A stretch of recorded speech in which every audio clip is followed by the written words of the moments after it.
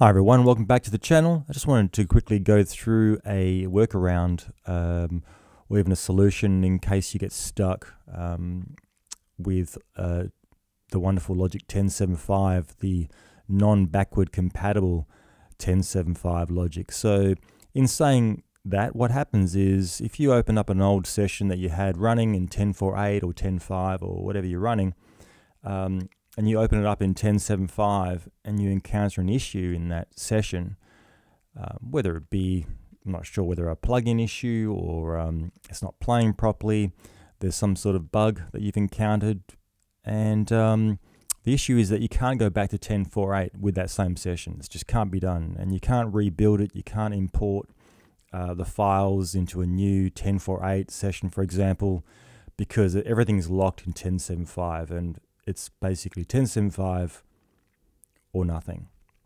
So how do we work around this? Well, this is a session I've got in 10.4.8 and basically what I do is I control click on that, I go duplicate, okay, and then I just also give it a bit of a color so it kind of sticks out a little more for me. And that's going to be my 10.7.5 session. So with this one here, open this in 10.7.5 and I think a may would be open. Actually, no. Uh, yeah, close what I've got already.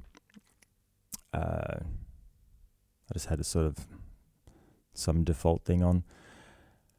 And this now basically will open it up the session in 10.7.5. There it is. Fantastic. Going to close that. And I'm actually going to quit Logic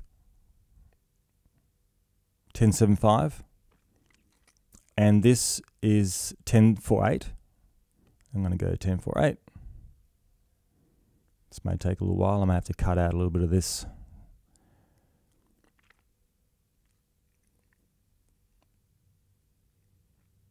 As it goes through all my plugins you don't need to see all this.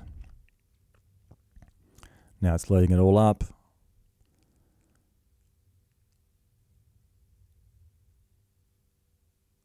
And there we have it in 10.4.8. So that's the way to get around this. Just duplicate the session and just make sure that you open, um, you don't open up 10.4.8 with 10.7.5 and you're safe. You're good to go. Anyway, guys, I hope that's, uh, hope that's been helpful for you guys. Cheers.